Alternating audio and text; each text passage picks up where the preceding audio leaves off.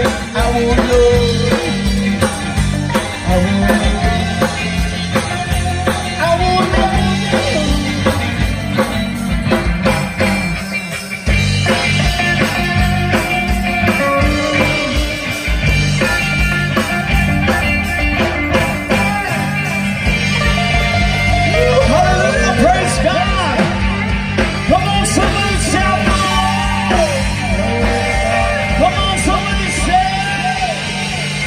care about honey, praise the Lord.